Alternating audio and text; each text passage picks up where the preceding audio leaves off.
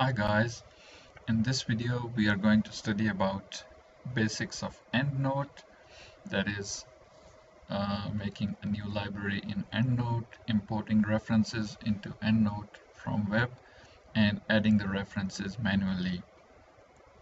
For this lecture you must have EndNote installed on your system before. You can get it online from EndNote website or you can purchase from any other website and install it to your system. When you have EndNote installed, you double click the icon of EndNote to open, open it. To make a new library, you click on File, New, and we can save the new library to a folder we want and you can change the name of the library and click on save. So now we have created this library named my library and it's open in EndNote. Here you can see uh, there are no references into this library yet so all references zero. This is the area where we'll we'll see the references when we'll download them and on the right hand side you can you will see details of a reference and you can see the preview how it will look like into the word editing program. So first we'll go for downloading a reference from web. There are different journal websites and remember one thing whenever you download a reference from internet download it from the original website of the journal where it is published and if you can't find a, a, reference on on its journal website or the journal is too old or there is some other issue you can try for Google Scholar. You can also download references from Web of Science or different other sources. And we'll go for a journal article first. So we'll have an example of ACS publications. ACS have pretty good websites so if you open an article on any ACS journal you will see this download citation button on right hand side. So if you click on this you will get different options. The first one is about format. So we'll select RIS as this is the format for EndNote. And there are a couple of more options. If you see this is citation for the content below it means that you are only going to download this citation for this research article. If you select citation and references for the content below, that will download this citation and all the references cited inside. And if you select citation and abstract for the content below, you will be downloading this citation and its abstract. So we'll download citation for the content below. Click on download citation button and it is downloaded. If you click open this citation is imported into the EndNote now. You can see we have imported one reference and here are the details of the reference.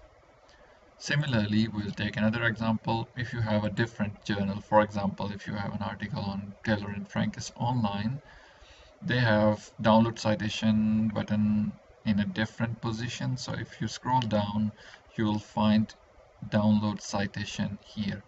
So if you click on download citation you will get same options like you select the RIS format for EndNote and you can select other options click download citations and here we go. We have downloaded this citation into the EndNote. Similarly if you go to Science Direct that's pretty easy. If you open any paper on Science Direct there is an export button at the top with download PDF button if you click this export button, here you will find the options for downloading the citation.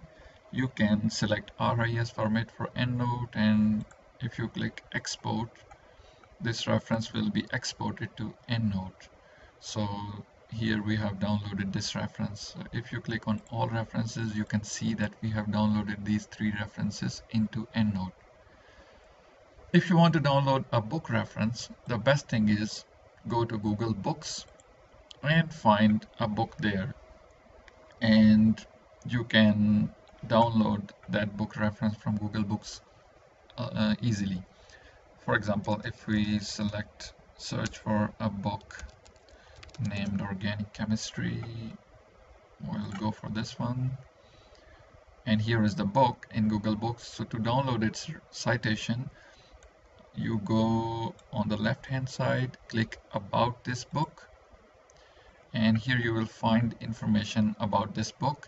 If you scroll down you'll find the bibliographic information at the end which you can download in different formats.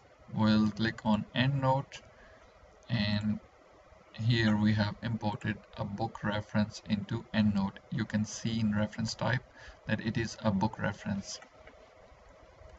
If you can't find a paper or research article on its journal website or journal is too old or there is some other issue you can still download it from Google Scholar or any other research database. For example if you find a paper on Google Scholar here is the search results. So if you want to import this reference into EndNote you click on cite and there are different formats. You click on EndNote and you will be importing this reference from Google Scholar to your EndNote library. Here you can see that we have imported this reference into our EndNote library from Google Scholar. Now you can see that we have downloaded five reference references. If you want to make a reference manually which is normally not recommended because it has more uh, chances of mistakes or errors you can still make a reference manually. If you click on references and click on new reference you will find this window where you can choose a reference type for example journal book online database whatever. So you can add its author information here. You can add year. You can add a title. You can add journal name. You can add volume pages and you can save this reference by pressing ctrl s or clicking file and then save to close this reference you need to click close reference or control W. Now we have total six references and out of which one is manually made, one is book reference and other are journal references. Here you can also arrange references in different orders. So if you want to arrange all these references by author names, you can click on author and now you have arranged the references by author name. You can do it ascending or descending order. So if you click on author again you can change the order of the arrangement. If you want to arrange references by year you can click on year and you have now arranged all these references by ascending year. You can also do it in descending format. Just click on year again and you will be arranging all these references in descending order. If you want to arrange by title journal whatever you can do it here. You can also see different tabs here. So there are author here title journal. If you don't want to see title just right click it and click on title title has gone and if you want to take it back just right click on this bar again click on title and here title is back you can also edit a reference directly from here. So if you want to edit this reference, you can just click on it and on the right hand side, you can see all its information. You can add or remove any information here and simply by pressing Ctrl S you can save this reference. You can also preview this reference how it will look like into the word editing program and you can see its PDF if you have attached its PDF as well. So this was all about basics of EndNote, making a new library, importing references. I hope you enjoyed this video and to keep yourself updated, subscribe to this channel and if you have any questions, uh, ask those questions in the comments and you will get those the answers. Thanks for watching. Bye.